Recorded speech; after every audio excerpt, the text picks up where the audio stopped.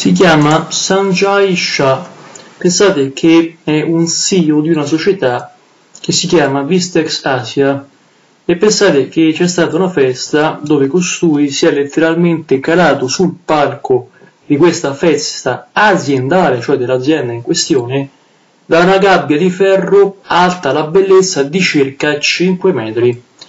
La catena però purtroppo per lui si è andata a staccare e l'uomo purtroppo morto. Il video della sua caduta ovviamente è diventato virale sul web e ha avuto un eco mediatico pazzesco, no? E ha veramente dell'incredibile, va bene? Non si aspettava l'uomo di fare questa fine, altrimenti non si sarebbe mai calato. Sta di fatto che però purtroppo per lui è morto, è morto sul colpo, non ce l'ha fatta, va bene? Grazie a tutti carissimi esimi utenti di YouTube per la visione e per l'ascolto di questo video di oggi. Sanjay Shah, che tu possa riposare in pace. Amen.